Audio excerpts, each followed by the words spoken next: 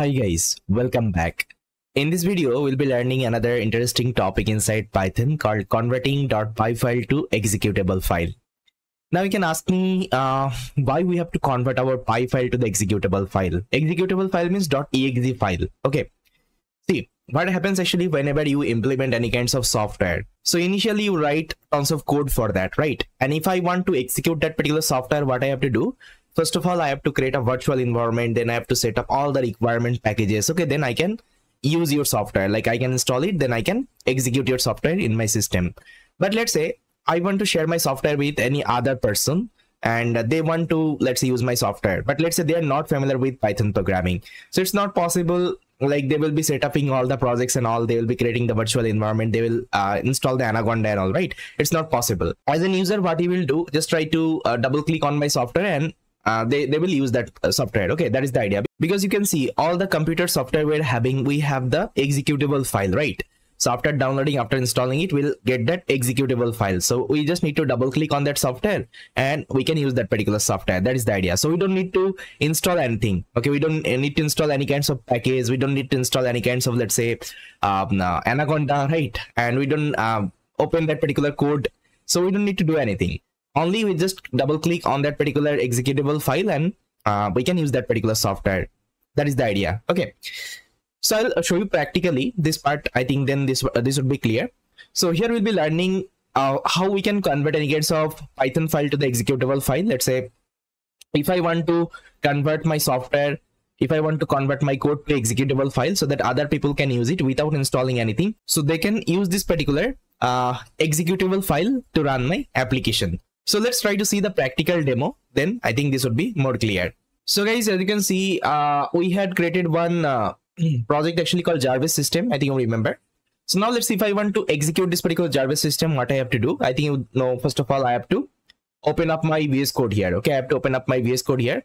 Then I have to open up my Anaconda prompt here. Okay, I have to open up my Anaconda prompt here. Then uh, I will just copy the path of this particular folder. Then I'll redirect into this particular folder. okay. Now what I have to do, I have to activate the environment. I think you know we have created a virtual environment. So if I show you the environment conda env a list.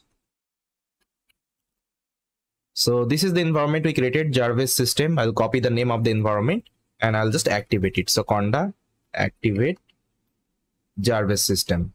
Now see it is activated now i can easily now i can execute this particular application. But let's say but let's say you are uh, opening this particular project for the first time what you have to do you have to create the environment this particular environment.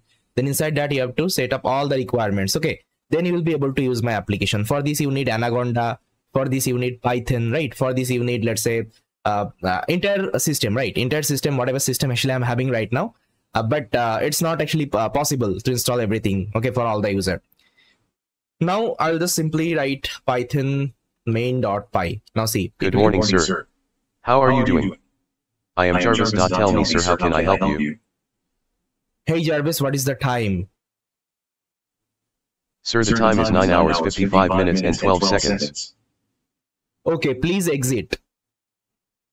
Goodbye, Goodbye sir. sir.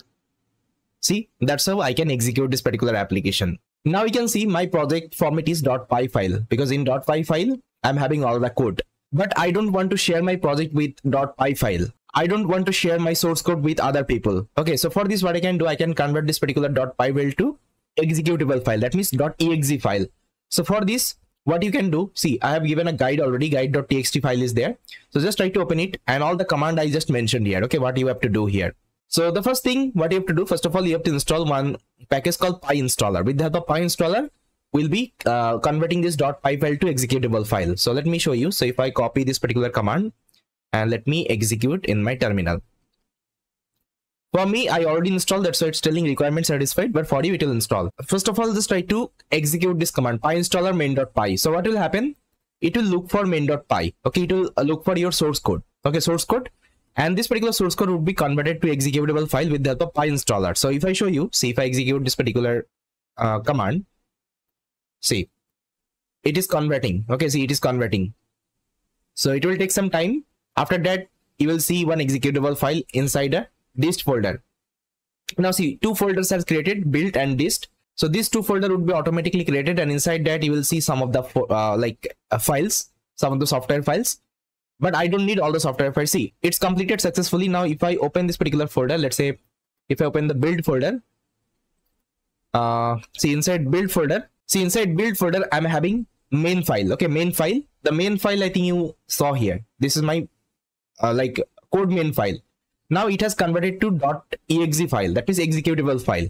Now apart from that another folder is created called dist. Okay inside dist also you will see this particular executable file. Now see which main file you will be using? The main file you will be using which is available inside dist folder. So let me open the dist folder. Inside main i'm having one main exe file it's a exe file let me show you the extension property so it's an executable file right now now see I haven't opened any kinds of Anaconda. Okay, I haven't uh, let's say acti activated my Anaconda. Let's say I don't have anything. Okay, I don't have I don't have anything in my system. Now if I double click on this software, see it will execute my application. Let me show you.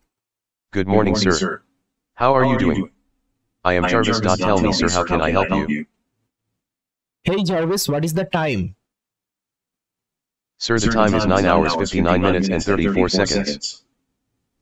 What is your name? My name, My is, Jarvis. is Jarvis. Okay, Jarvis, please exit. Goodbye, Goodbye sir. sir. Got it? So see, that's how actually we can convert any kinds of uh, Python file to exe executable file. And now I can share this particular file with my friends. They can use my application. So I don't need to open my VS Code. I don't need to open my Anaconda, activate the environment, install all the requirements. Then I can use my software, not like that. I can share this executable file. They will double click it. They will use it. Like the way actually we use any other software. Let's say I want to open Telegram. I'll just click on the Telegram icon. It will open up my Telegram software. Okay. So this is my own software we have created. So congratulations guys. So far you have created your own software. Okay. The project you have implemented. So you have also converted this particular project to a executable file. And that file uh, now any anyone can use. Okay anyone can use. And going forward when whatever project actually you'll be creating try to convert all the project to executable file. Okay and you can share with your friends and family so that they can also use that particular software. That's the idea. But one issue we'll see uh, see if i want to execute this main.exe so i need some more let's let's say file. Let's say this file actually i need. These are the file actually i need because this is the dependency okay this is the dependency file okay without that actually i can't uh, run this particular file so this approach is not good. Even I personally don't like it. So if I only want to generate main.exe, only one file, okay, only one file, there won't be any kinds of dependency file. For this, you can use this command, pyinstaller hyphen hyphen one file main main.py. Now let me show you. So first of all, let me just uh, delete these are the folder build dist this one. I'll just try to delete. These are the folders. Now I'll copy this command and here I will execute it right now. Now see again it is creating. So execution is done and it is completed. Now again let me open the folder. Now if I go to the dist, now see only main uh, exe is there. Okay, only main exe is there. Now let's see if I move this particular file somewhere. So I'll just let's say copy and let's say I will keep it uh, so let's say I will keep it in my desktop so here I'm going to paste it so this is my uh, file now if I double click good morning, good morning sir. sir. how are, how you, are doing? you, doing? I am I Jarvis. Jarvis. Tell me sir how can I help, help you? you hey Jarvis what is the time Sir, the, Sir, time, time is 10 hours, 4 minutes, and 41, 41 seconds. seconds. Okay, please exit. Goodbye, Goodbye sir. sir. Alright, I think you saw the demo. Now you can use the software in the backend. Uh, so just try to execute the software and it will keep on running in your system. Okay, no need to open up your VS Code, Anaconda prompt, anything. Okay, it will uh, it will keep on running. So yes, this is a very interesting concept inside Python and uh, it's like very useful whenever you will be implementing the software. You have to convert your software in a ex uh, executable file. That is the idea. So yes, this is all from this video. I hope you liked it. So thanks for watching the video guys and I will see you next time.